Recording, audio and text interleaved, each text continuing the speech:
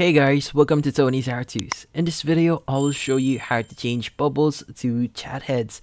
So this is to be a very easy one. You just need to adjust a few settings to enable this setting into your messenger. So the first thing that you want to do here is you want to ensure that you have the latest version for messenger. So from here, you want to go to Play Store and basically search for messenger here.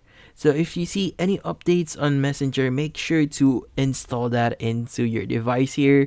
So as you can see, I have the latest version, but if you don't have the latest version, go ahead and go and use the latest latest version here. Now, once you've installed Messenger, you just need to do a few things and adjust a few settings into your uh, settings section. So let's go to our settings here. So in your settings, what you need to do here is you basically need to use your search functionality that says search settings here.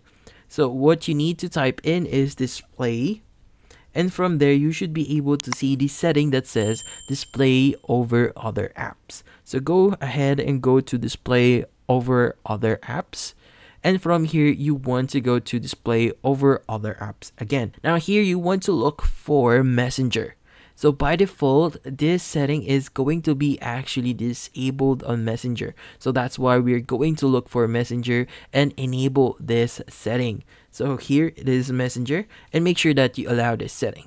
So once you've allowed that, the next thing that we want to adjust here is via the Messenger application itself. So let's go to Messenger now. So also I'm going to show you the before of this setting.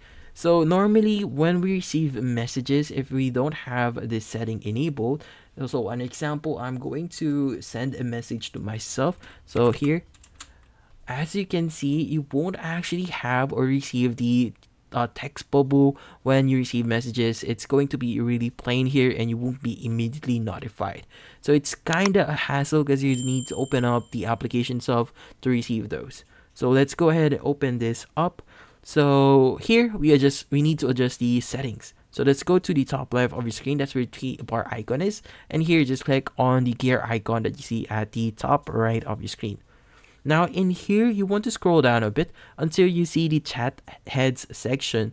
Now here, make sure that you enable this one and we just need to go back.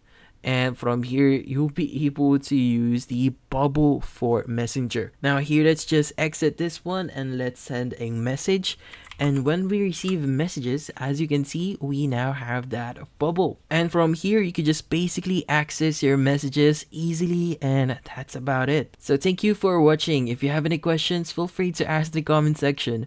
If you enjoyed this video and found it helpful you could use the link in the description to subscribe. See you in the next video